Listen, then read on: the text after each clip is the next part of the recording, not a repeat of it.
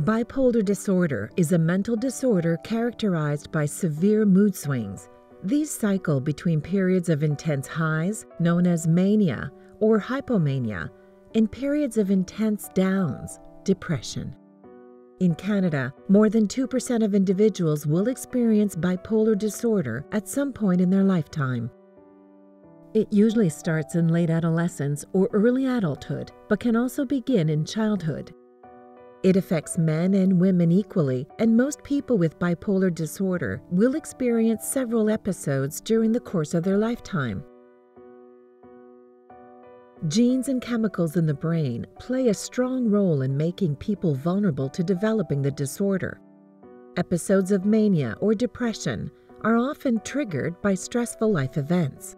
Risk factors for relapse in bipolar disorder include using alcohol or drugs, not taking psychiatric medication as prescribed, and changes in routine leading to lack of sleep or irregular sleeping habits.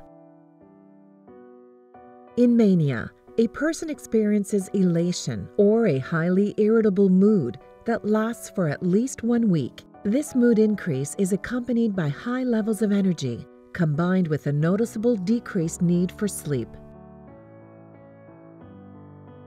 A person usually has a boost in self esteem, speaks more and faster, experiences racing thoughts, and is easily distracted. Mania can be accompanied by psychotic symptoms such as hallucinations and delusions, and almost always requires hospitalization. In the depressive phase of bipolar disorder, symptoms of clinical depression need to be present for at least two weeks and are similar to symptoms of unipolar depression. Symptoms include depressed mood or sadness, loss of interest in most activities, social withdrawal, changes in appetite, increased or disturbed sleep, fatigue or low energy, decreased sexual desire, difficulties in concentration or making decisions, feelings of worthlessness, and suicidal thoughts or plans. In more severe forms, clinical depression can be life threatening and require hospitalization. Suicide is a significant threat in bipolar disorder. Pharmacotherapy or drug therapy is essential for the treatment of bipolar disorder. It usually involves the use of one or more mood stabilizers, such as lithium, combined with other medications. Psychological interventions, in conjunction with drug therapy, can help people better manage their illness.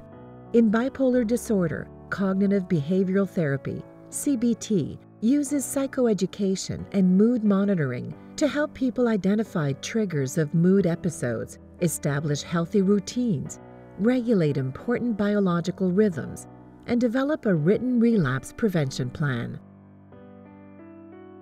Increasing activities in depression, reducing activities in mania, and correcting over negative or over positive thoughts are also strategies used in CBT.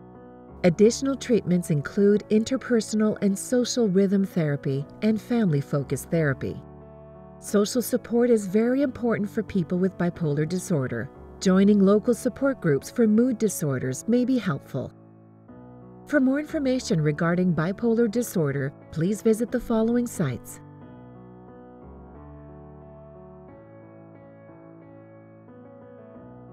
To find a registered psychologist near you, visit the following page